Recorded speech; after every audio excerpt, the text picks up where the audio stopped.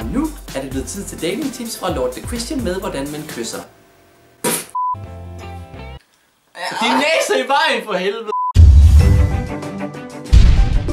Oh my Lord The Christian! Hej alle sammen og velkommen til Kendte Vlogger, hvor jeg, Lord The Christian, laver show med diverse YouTubere. I dag der følger vi Vigo Breaker lidt. Kan du egentlig godt skaffe dig en anden intro, bro? Den her, du har nu, den kommer altså lidt bims i hovedet.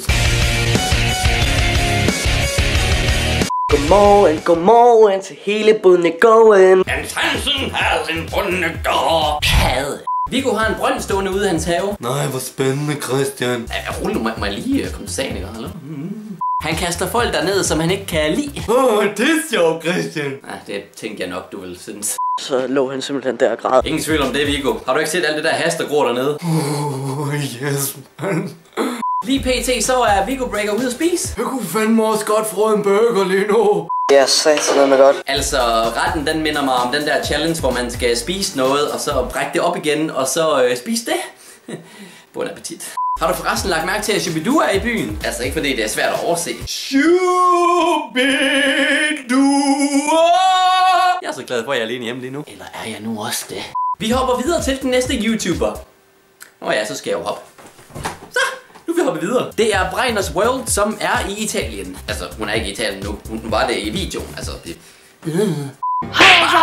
Au, for... Hallo, er det sådan, de siger hej i Italien, eller hvad? Hej med dig!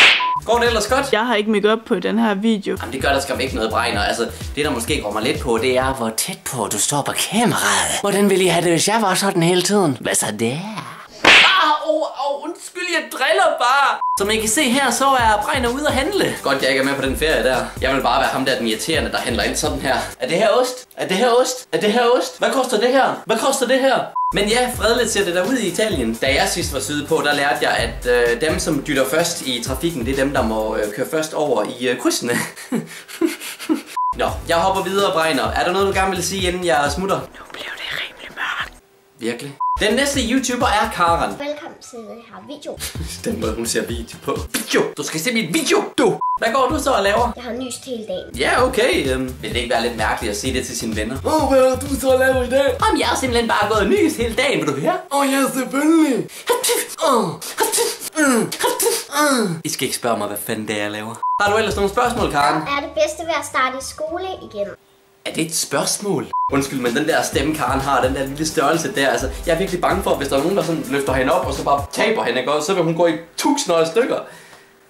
Det var da meget pænt sagt, Christian. Det er derfor, jeg synes, det er rigtig, rigtig, rigtig dejligt at have ferie. Nå, okay, så, så folk gør det hele tiden. Shit. Hvis vi nu vender tilbage til skoleemnet, hvad, hvad gør du så af hensyn til taske? Jeg skal jo ikke gøre det store ud af min taske. Ja, altså, man skal jo passe på, at man ikke bliver taskens taske.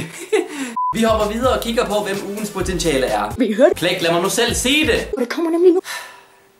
Ugens potentiale er plæk. Det var da den mest interessante måde, jeg har set nogen øh, reagere på det her show før. Nu må jeg så gerne virke lidt mere glad. Selvfølgelig kan det det.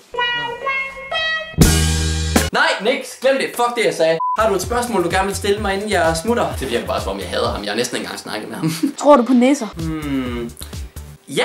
Det var alt for denne uges episode, drenge og piger. Jeg håber selvfølgelig, I kunne lide videoen, og at den gav et godt grin. Og hvis den gjorde, så må I meget gerne vise det ved at give videoen et like. Vi ses i min næste video. Er det godt så længe inden da? Kæft, hvor er det her Ja, Det er hvad med noget kedeligt vejr, hva'? lige nu de regner, og butikken de er lukket. Og så de eneste, det er, hvad hedder den der værtshus. Og jeg, jeg har lige været der i et par gange. Ja, det kan jeg da godt høre. Hold, hold din kæft.